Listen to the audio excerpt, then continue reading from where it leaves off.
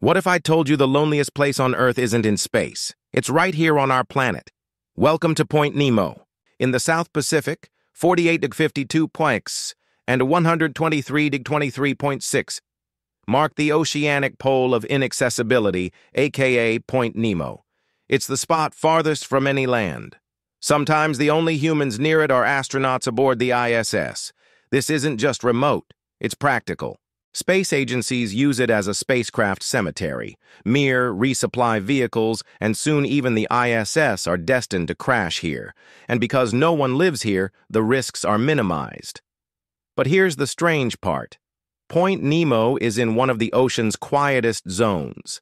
It's almost antisocial by nature. In 1997, the eerie bloop sound was detected underwater nearby. It was loud and unexplained. It vanished as mysteriously as it appeared. An oceanic desert, littered with spacecraft, haunted by alien sounds. It's one of Earth's strangest meeting points. Want to explore more digital and real-world mysteries like this? Tap subscribe and keep your eyes on the horizon.